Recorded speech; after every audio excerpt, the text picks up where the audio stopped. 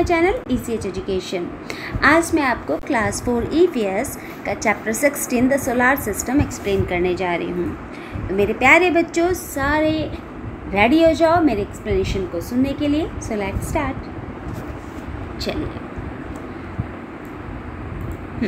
We have learned about the celestial object like the sun, the planet, the stars and the moon. ठीक है? हम लोग इन सब के बारे में पढ़ चुके हैं, जानते भी हैं और थोड़ा बहुत पढ़े भी हैं। The celestial object are all part of the universe ये जितने भी सेलेस्टियल ऑब्जेक्ट हैं, ये हमारे यूनिवर्स के पार्ट्स हैं। अगर आपसे कोई पूछता है कि सेलेस्टियल ऑब्जेक्ट क्या है, ज़रा बताइए तो। तो बेटा अंडरलाइन कर लीजिए सन प्लैनेट्स एंड स्टार और मून को ओके अब the universe is a vast space where we can find billion of stars. Universe हमारा बहुत बड़ा space है और यहाँ पर हमें billions of stars देखने को मिलते हैं planet है solar system है and other celestial object है इतनी सारी चीज़ें हैं हमारे universe में there are million of solar system in the universe और हमारे यूनिवर्स में मिलियंस सोलार सिस्टम है। Our solar system is located in a galaxy और हमारा जो सोलार सिस्टम है, वो गैलेक्सी में लोकेटेड है, जिसे हम मिल्की वे या फिर आकाशगंगा बोलते हैं। अब हम इन्हें टॉपिक वाइज रीड करेंगे। The Milky Way the weight the shape of the Milky Way galaxy is like that of huge whirlpool whirlpool it means होता है भंवर ओके okay? तो जो हमारा मिल्की वे का जो शेप है, वो एक भंवर के जैसा है। It is made up of at least hundred billion stars along with dust and gas और ये किससे बना है? हंड्रेड बिलियन ऑफ़ स्टार से बना है, जो कि डस्ट और गैस के साथ हैं, ठीक है?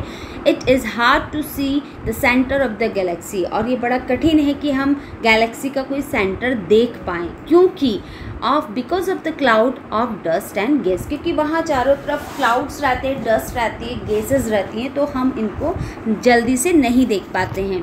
The earth is the earth is far away from the centre of galaxy और जो हमारा अर्थ है वो हमारे गैलेक्सी के सेंटर से बहुत दूर है।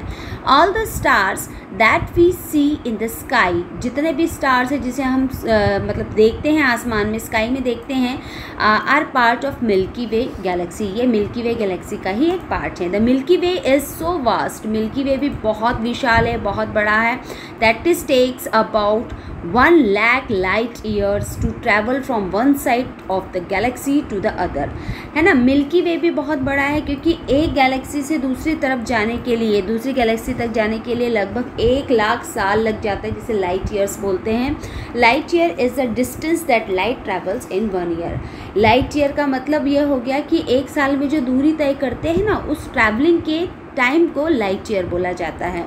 अब आता है stars if we look up at the night sky जब हम रात को स्काई देखते हैं we can see million of stars twinkling in the sky और बहुत सारे स्टार्स को हम देखते हैं कि वो वहाँ पर ट्विंकल्स कर रहे हैं मतलब अच्छे से ट्विंकलिंग कर, चमक रहे हैं। They look beautiful from the earth और अर्थ से हमें ये बहुत ही सुंदर दिखाई देते हैं।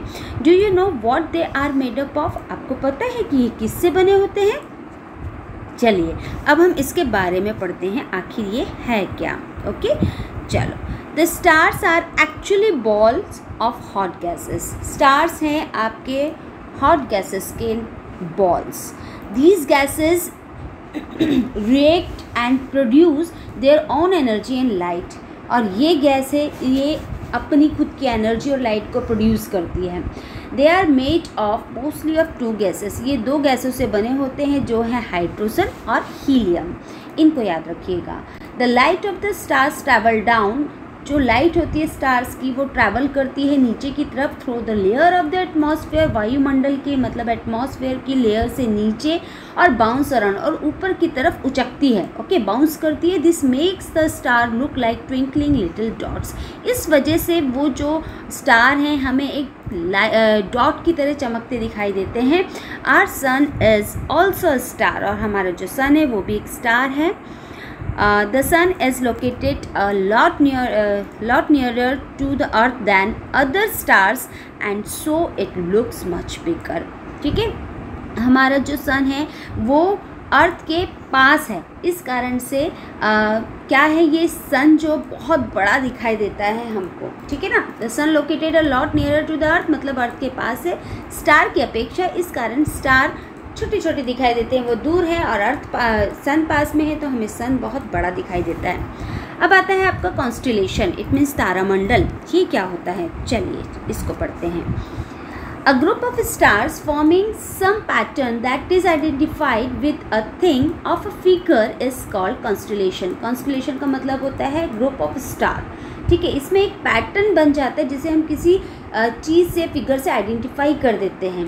Constellation are traditionally named after their apparent from और पैटर्न इस कॉन्स्टलेशन का ट्रेडिशनली नाम रहता है, ठीक है? और ये उसी पैटर्न पर डिपेंड करता है जो पैटर्न वहाँ बना है। फॉर एग्ज़ाम्पल द सप्तऋषि और the Great Bear constellation resembles a bear and hence it is named so. There are at, there are about 88 officially recognized constellation.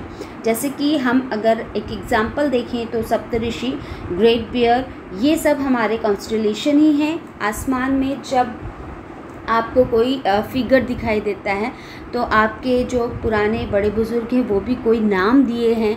उस नाम से आपको समझाते देखो वो देखो आसमान में कौन सा फिगर बना हुआ है उसका।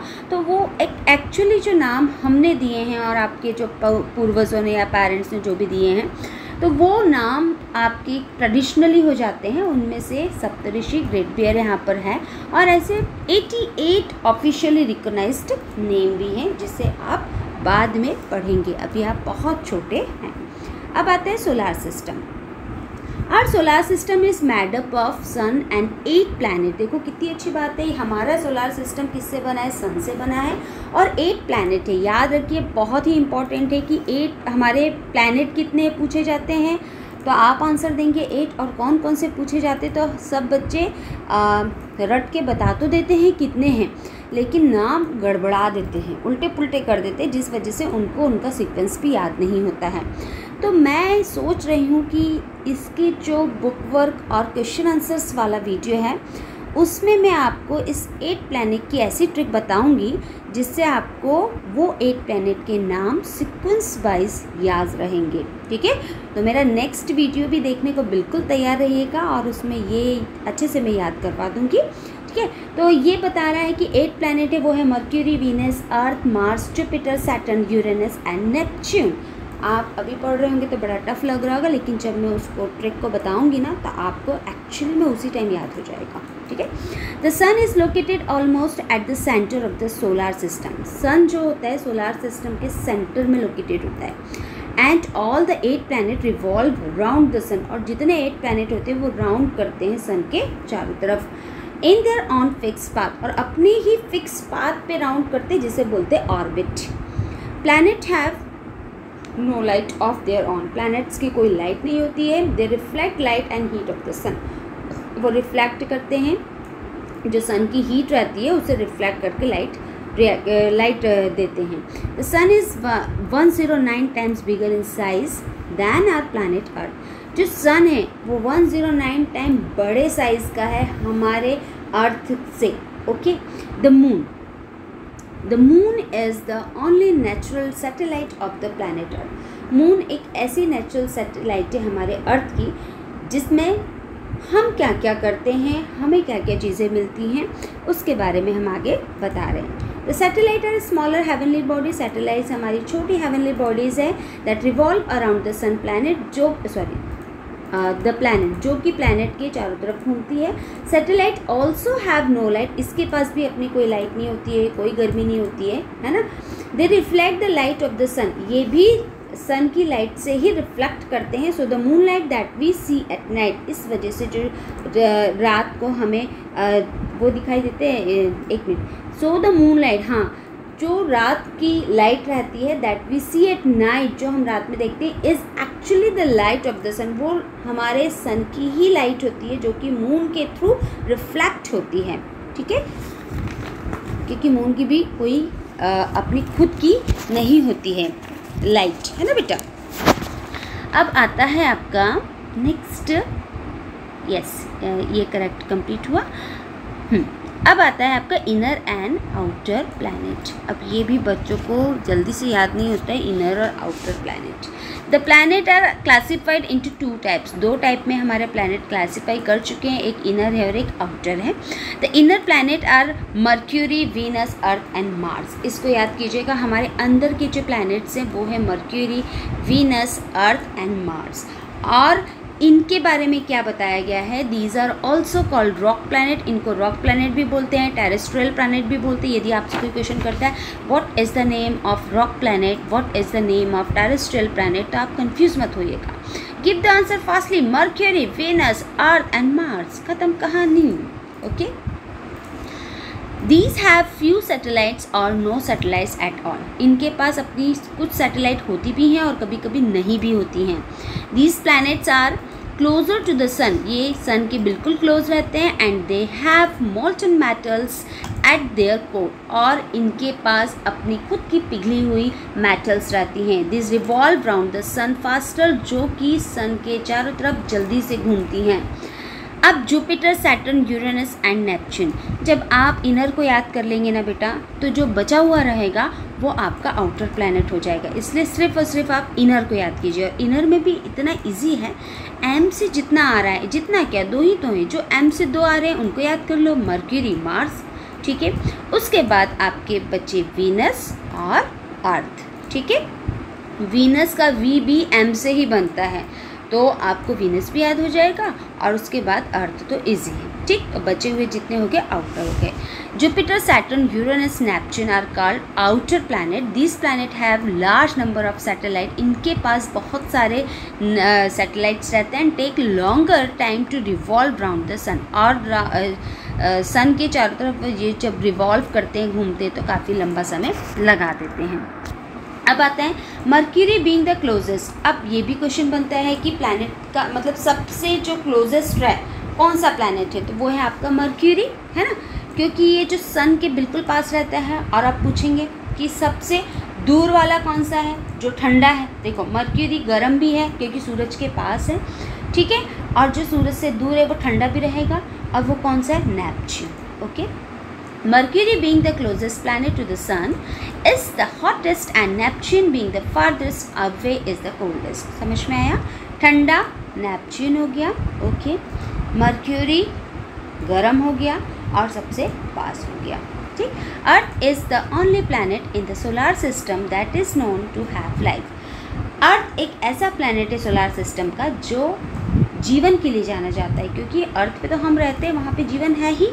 Earth is located at such distance from the sun earth सूरज से काफ़ी दूर लोकेटेड है. That is receive just a right amount of heat and light इस वजह से वो बिल्कुल अपनी सही मात्रा में वहाँ से गर्मी और लाइट ले लेते हैं earth it is neither too hot nor too cold ना तो ये गर्म है ज़्यादा और ना ही ये ठंडा है.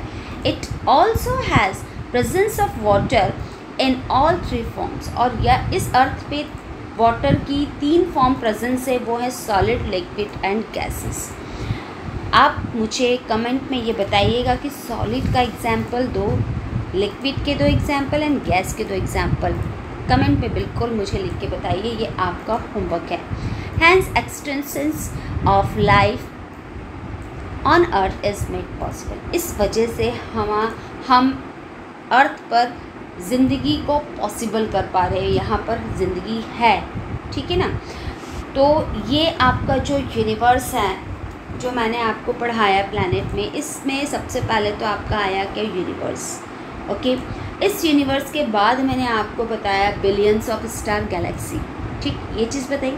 अब ये बिलियन ऑफ़ स्टार गैलेक्सी में हमने क्या पढ़ा?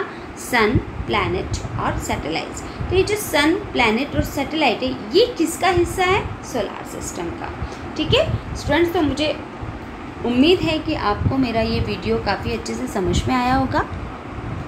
और इस वीडियो में जो मैंने आपको इनर और आउटर प्लानट के बारे में बताया कौन कौन से होते हैं आई थिंक इनर तो सबको याद हो गया होगा। ठीक है? और ये जो सोलार सिस्टम के मेरे एच प्लानट हैं, इसकी ट्रिक मैं नेक्स्ट वीडियो में डालने वाली हूँ। आप लोग बिल्कुल रेडी रहिए उसको याद करने के लिए। बाकी जितना भी था, मैंने बड़े अच्छे से एक्सप्लेन किया है। आपको कुछ याद भी हो गया होगा मेरा वीडियो देखने के लिए। Thank you so much take care bye